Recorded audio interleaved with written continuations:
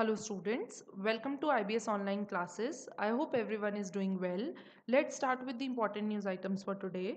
सबसे पहले हम देखते हैं जो भी highlights रही आज के दिन की Khangchen Zonga has become the 11th biosphere reserve from India to be chosen by UNESCO.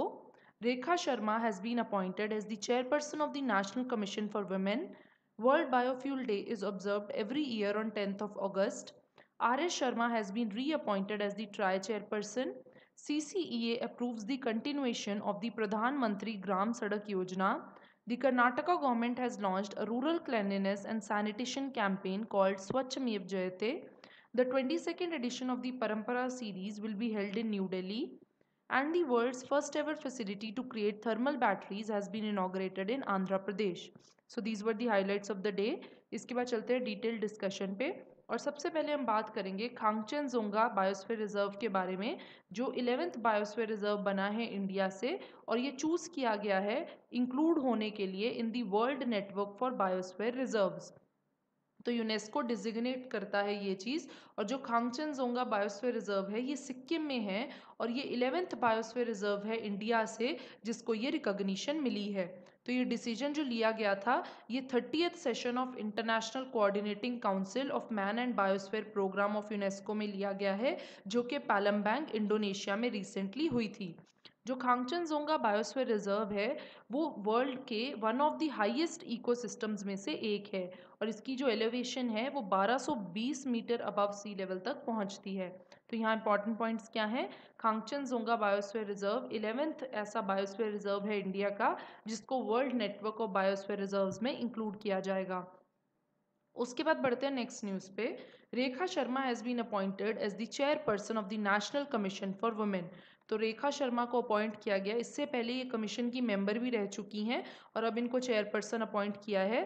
जो नेशनल कमीशन फॉर वुमेन है, वो एक स्टैट्यूटरी बॉडी है, जिसको स्टार्ट किया गया था national commission for women act 1990 के तहत और इसको एस्टेब्लिश किया गया था जनवरी उन्नीस सौ बानवे में।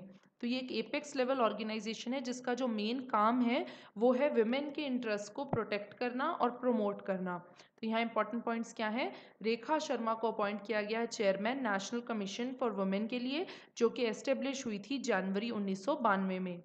इसके बाद बढ़ते हैं नेक्स्ट न्यूज़ पे। वर्ल्ड बायोफ्यूल डे तो जो वर्ल्ड बायोफ्यूल डे है, वो ऑब्ज़र्व किया जाता है 10 अगस्त को। इसको इंटरनेशनल बायोडीजल डे के नाम से भी जाना जाता है और इस डे को ऑब्ज़र्व करने के पीछे जो मेन एम है, वो है लोगों में जागरूकता बढ़ाना कि जो नॉन फॉजिल फ्यूल्स हैं, जैसे कि बायोफ्यूल्स या फिर ग्रीन फ्यूल्स उनको फॉजिल फ्यूल्स की जगह यूज़ किया जा सकता है और वो कितना ज़रूरी है। जो ये बायोफ्यूल्स होते हैं, ये रीन्यूएबल होते हैं बायोडिग्रेडेबल होते हैं सस्टेनेबल होते हैं और इन्वायरमेंटल फ्रेंडली होते हैं। इससे क्या है, जो कन्वेंशनल फॉजिल फ्यूल्स हैं जो हम यूज़ करते हैं, जो कि अब ख़त्म हो रहे हैं, उनकी जगह पे इन बायोफ्यूल्स को यूज़ किया जा सकता है। तो 10 अगस्त इसलिए चूज़ किया गया था क्योंकि इसी दिन 1893 में जो सर रोडाल्फ डीजल थे, जिन्होंने डीजल इंजन को इन्वेंट किया था, उन्होंने पहली बार एक मैकेनिकल इंजन को पीनट ऑयल से चलाया था। तो इसीलिए इस डे को वर्ल्ड बायोफ्यूल डे के जैसे ऑब्ज़र्व किया जाता है। इंडिया में जो वर्ल्ड बायोफ्यूल डे है, वो मिनिस्ट्री ऑफ़ पेट्रोलियम और नेचुरल गैस ऑब्ज़र्व करती है और इसीलिए इस साल वर्ल्ड बायोफ्यूल डे प्रोग्राम भी किया गया था नई दिल्ली में, जो कि ministry of petroleum and natural gas ने ऑर्गेनाइज करवाया था। तो यहाँ इंपॉर्टेंट पॉइंट्स क्या हैं? वर्ल्ड बायोफ्यूल डे ऑब्ज़र्व किया जाता है दस अगस्त को। इस दिन क्यों चूज़ किया गया था? क्योंकि इसी दिन सर रुडाल्फ डीजल ने पहली बार एक मैकेनिकल इंजन को पीनट ऑयल से चलाया था। इसके बाद बढ़ते हैं नेक्स्ट न्यूज़ पे। R S Sharma has been reappointed as the TRAI chairperson तो जो अपॉइंटमेंट्स कमेटी है कैबिनेट की, उसने राम सेवक शर्मा को दोबारा से रीअपॉइंट कर दिया है telecom regulatory authority of India का चेयरपर्सन। तो अब ये सितंबर 2020 तक चेयरपर्सन रहेंगे। इससे पहले राम सेवक शर्मा जो हैं, वो डायरेक्टर जनरल और मिशन डायरेक्टर भी रह चुके हैं you I D A I की। That is unique identification authority of India या आधार। इसके वो पहले डायरेक्टर जनरल भी रह चुके हैं। जो ट्राई है, telecom regulatory authority of India ये रेगुलेटर है टेलीकम्युनिकेशन बिज़नेस की इंडिया में और इसको एस्टेब्लिश किया गया था उन्नीस सौ सतानवे में under the telecom regulatory authority of India act of 1977 तो इसका जो मेन मिशन है, वो है इंडिया में टेली को ग्रो करने के लिए और भी बेहतर कंडीशंस बनाने ताकि इंडिया जो है ग्लोबली इंफॉर्मेशन सोसाइटी में एक इंपॉर्टेंट रोल प्ले कर सके। तो यहाँ पे इंपॉर्टेंट पॉइंट्स क्या हैं? आर एस शर्मा को अपॉइंट किया गया है दोबारा से as the chairperson of the TRAI TRAI stand for telecom regulatory authority of India and it was establish in 1997 उसके बाद बढ़ते हैं नेक्स्ट न्यूज़ पे। C C E approves the continuation of Pradhan Mantri Gram Sadak Yojana तो जो cabinet committee है economic affairs की that is C C A उसने अप्रूव कर दिया है कि जो प्रधानमंत्री ग्राम सड़क योजना है, वो अब बारहवें फाइव ईयर के प्लान के बाद तक भी चलती रहेगी। तो जो ट्वेल्थ फाइव ईयर प्लान है, वो 2012 से 2017 तक था। उसके आगे भी जो है प्रधानमंत्री ग्राम सड़क योजना को कंटिन्यू किया जाएगा। इस स्कीम को लॉन्च किया गया था 2000 ईयर में दैट इज़ 25 दिसंबर 2000 में, और जो इसकी मेन एम है वो है कि रोड कनेक्टिविटी प्रोवाइड करना। जितनी भी अनकनेक्टेड एरियाज़ हैं इंडिया में, जितने भी रूरल एरियाज़ हैं, उन सबको कनेक्टिविटी प्रोवाइड करना। तो इसकी जो नोडल मिनिस्ट्री है इम्प्लीमेंटेशन के लिए, वो है union ministry of rural development तो ये जो स्कीम है ये इनक्रेज करती है कि ग्रीन टेक्नोलॉजी यूज़ की जाए और इसी के साथ जो रोड्स बनाने के लिए मटेरियल यूज़ होते हैं, वो भी नॉन कन्वेंशनल हो, जैसे कि plastic geotextiles fly ash iron etcetera तो यहाँ पे इंपॉर्टेंट पॉइंट्स क्या हैं? जो प्रधानमंत्री ग्राम सड़क योजना है, उसकी नोडल मिनिस्ट्री है union ministry of rural development इसको स्टार्ट किया गया था 2000 में और अभी रिसेंटली ये डिसीज़न लिया गया है कि 2017 के बाद भी इस प्रधानमंत्री ग्राम सड़क योजना को कंटिन्यू किया जाएगा। उसके बाद बढ़ते हैं नेक्स्ट न्यूज़ पे।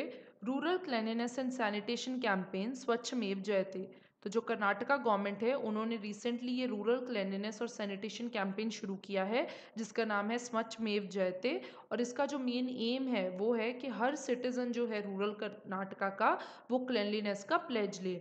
तो ये क्या करेंगे? जो स्वच्छ सर्वेक्षण ग्रामीण है 2018 का, उसको बूस्ट करने के लिए ये कैंपेन है और ये सर्वे कंडक्ट कराएँगे सारी डिस्ट्रिक्ट्स में।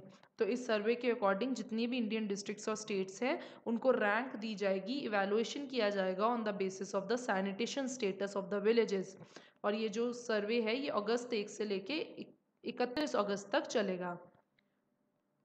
उसके बाद बढ़ते हैं नेक्स्ट न्यूज़ पे। Twenty second edition of the Parampara series तो जो परंपरा सीरीज़ है, ये एक नेशनल फेस्टिवल है म्यूज़िक और डांस का, और इसका ट्वेंटी सेकेंड एडिशन अभी शुरू होने वाला है, और वो शुरू होगा in New Delhi at Kamani auditorium तो जो मेन पर्पस है इसका वो है कि एक प्लेटफॉर्म देना, जितने भी यंग टैलेंट्स हैं, जो कि आर्ट और कल्चर की दुनिया में अपना नाम बनाना चाहते हैं। तो ये जो तीन दिन के इवेंट्स होंगे, इसमें बहुत ही ज़्यादा जो नॉन क्लासिकल डांस परफॉर्मर्स हैं या कथक परफॉर्मर्स हैं, वो इसमें पार्ट वो भी इसमें हिस्सा लेंगे और परफॉर्मेंसेस करेंगे। तो यहाँ इंपॉर्टेंट पॉइंट्स क्या हैं? जो परंपरा सीरीज़ है, वो नेशनल फेस्टिवल है म्यूज़िक का और वो ऑर्गेनाइज किया जा रहा है नई दिल्ली में।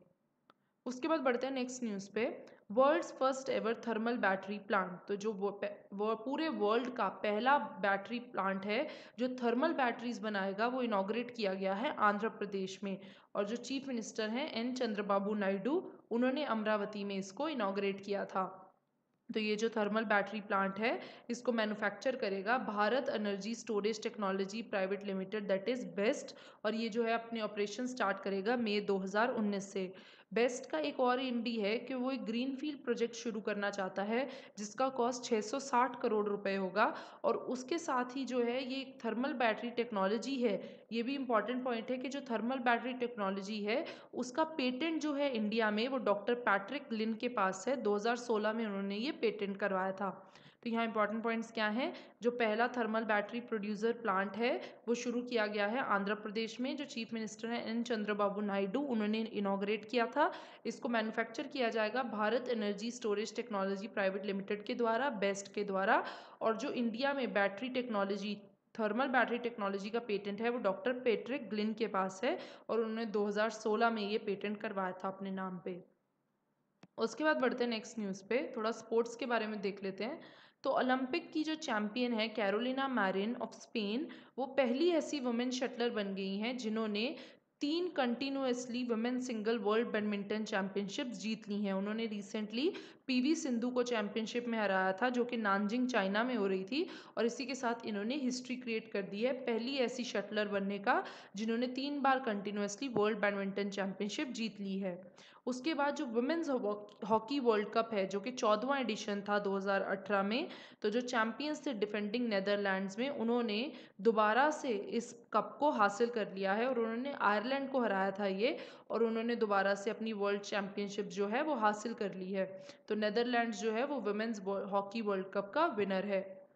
उसके बाद जो इंडिया की अंडर ट्वेंटी फुटबॉल टीम है, उन्होंने भी 2018 का कोटिव कप जीत लिया है फुटबॉल टूर्नामेंट जो कि रिसेंटली स्पेन में हुआ था। इन्होंने अर्जेंटीना को डिफीट किया है और उसके बाद उन्होंने ये जो कोटिव कप है, ये जीत लिया है इंडिया की अंडर ट्वेंटी फुटबॉल टीम ने। तो ये थी स्पोर्ट्स से रिलेटेड कुछ news so students that's all for today thank you very much for watching this video please do like this video and subscribe to our channel